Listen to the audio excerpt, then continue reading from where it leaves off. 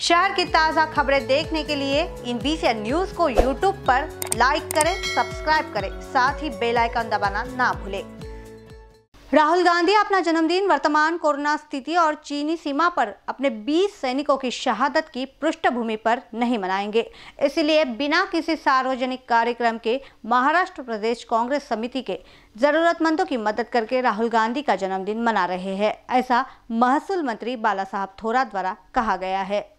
राहुलजींचा आज वाढदिवस आहे आणि संपूर्ण देशातले काँग्रेसजन हे अत्यंत साध्या पद्धतीनं आणि समाजसेवेच्या माध्यमातून ते साजरा करतायत.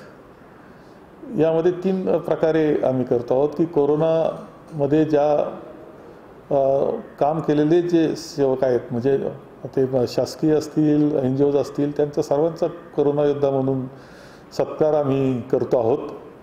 याशिवाय पी पी किट्स असतील जेवण असेल हे गरीब माणसाला वाटण्याचं काम केलं जातं आहे.